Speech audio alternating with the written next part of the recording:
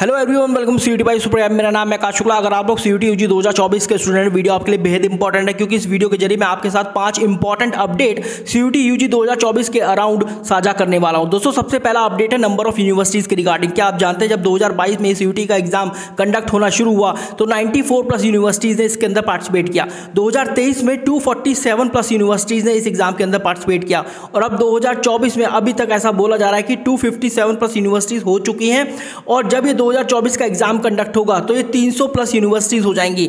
Number of universities बढ़ी है, इसका मतलब कंपटीशन बढ़ेगा। Number of student going to appear in CUET 2024 will be far more than the 2023 दूसरा अपडेट है सब्जेक्ट टेस्ट के रिगार्डिंग दोस्तों 33 लैंग्वेजेस सत्ताईस डोमेन सब्जेक्ट और एक जनरल टेस्ट कुल मिलाकर इकसठ सब्जेक्ट टेस्ट है सीयूटी एग्ज़ाम के अंदर और आपको मैक्सिमम दस चूज़ करने होते थे। जब 2022 का एग्ज़ाम कंडक्ट हुआ तो मैक्सिमम सिक्स चूज़ करने थे।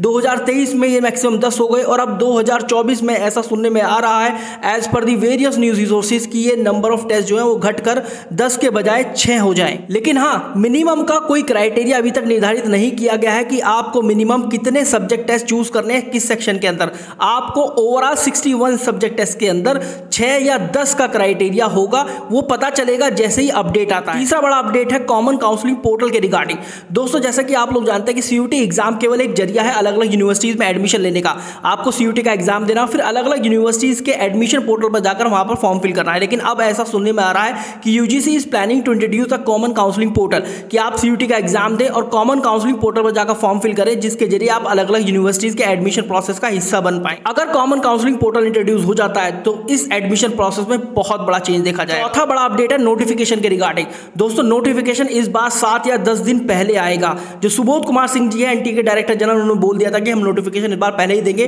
तो फ़र्स्ट फैब या फिर जनवरी लास्ट वीक में आपको सीयूटी यूजी 2024 का नोटिफिकेशन देखने के लिए मिलेगा और रजिस्ट्रेशन फॉर्म फिलअप तभी से शुरू होंगे। पांचवा बड़ा अपडेट है अकेडमिक सेशन से रिलेटेड दोस्तों, अगर पिछली बार 15 या 16 अगस्त से अकेडमिक सेशन स्टार्ट हुआ था तो इस बार अकेडमिक सेशन आपको फ़र्स्ट ऑफ़ अगस्त 2024 से देखने के लिए मिल सकता है। इस तारीख से वो स्टार्ट हो सकता है।